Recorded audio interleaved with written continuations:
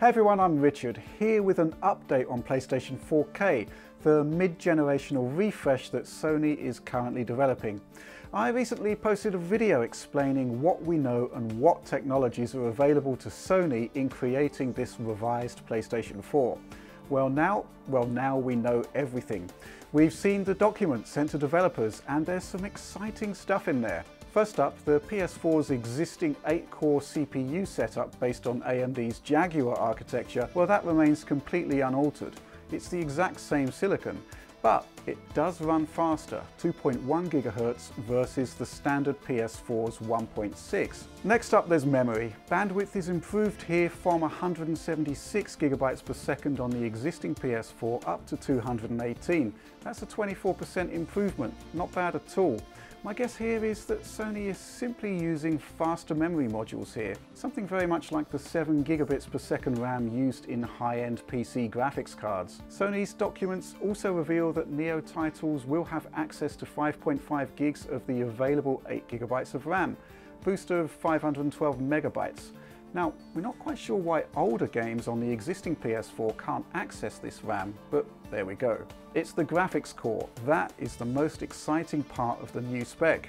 We're getting improved AMD Radeon architecture here and a massive boost to the actual size of the GPU. We're going from 18 compute units found in the existing PS4 up to 36 in the Neo. And there's a 14% boost to clock speeds too, 911 MHz versus 800.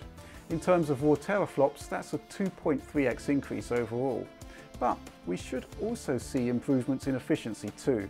Sony talks about new GPU instructions, for example, plus newer Radeon graphics cards have memory compression technology for getting more out of that constricted 256-bit memory bus. Now, both PS4 and Xbox One processors produced by AMD thus far have used semi-custom versions of existing Radeon hardware. So the Xbox One, well that's very very close to this Radeon R7 260X. PS4, well the Radeon R7 270X here, well that's a very close fit.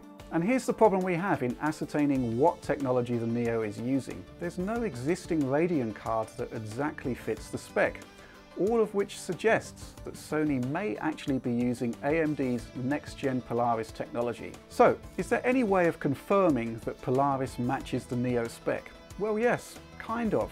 Check this out. Canny enthusiasts discovered the hardware ID for AMD's upcoming Polaris 10 GPU in a Linux kernel submission, and then they checked that against the SiSoft benchmarking database. And remarkably, they found a match, and it highlights, yes, the exact same 36 compute units found in PlayStation Neo's GPU. So, one thing we've got to point out, Sony's documents that we've seen don't confirm Polaris at all. We've really got to stress that, but basically, we only have two possible options here. The Tonga or Antigua chip found in this, the Radeon R9 380X, or the upcoming Polaris 10. Now this GPU only has 32 compute units, so it's really not a good fit. Now Sony really hasn't mentioned Polaris in its specs, but right now I think it's the best possible fit. And for me this is really surprising. I was worried about compatibility between architectures, but it seems like it's close enough to run older PlayStation 4 games just fine. And if you watched my last video, you would have seen that I was concerned about memory bandwidth with a much larger GPU. Well, to be honest, I'm still concerned about that, but Polaris does feature memory compression technology not found in the original PlayStation 4. So we're getting more memory bandwidth and the new processor should be able to use it more efficiently. So what does all of this mean for gamers? According to the documents we've seen, Sony is keen on pushing for 4K support for UHD TVs, but it accepts that many titles will be upscaling from lower resolutions. But Sony talks specifically about four areas where those with 1080p screens could also see benefits with PlayStation Neo. And we're talking about higher frame rates, more stable frame rates, improved graphics fidelity and other features. And yeah, as mentioned previously, when you look at games like Final Fantasy XV with sub-native resolutions and crippling performance drops, well, it would be great just to get that sorted out. But it just feels like we shouldn't really need new hardware to do it. So overall then, a 30% boost to CPU, a 2.3x increase in GPU power and more RAM, Neo will play the same games as your current PS4, but they will probably be smoother and or better looking.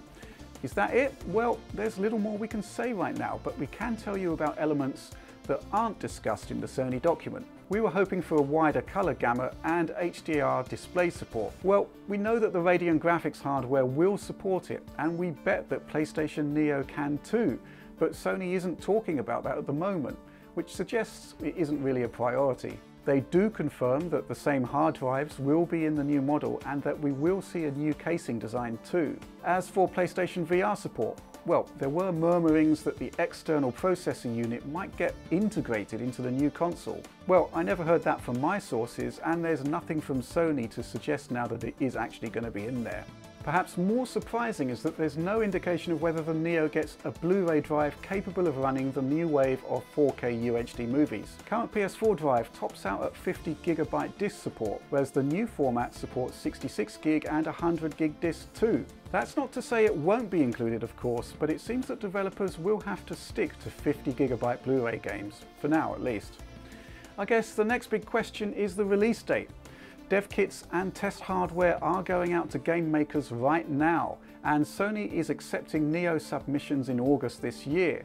Based on Sony's own timelines, from late September and October this year, there should be PlayStation Neo games available to buy.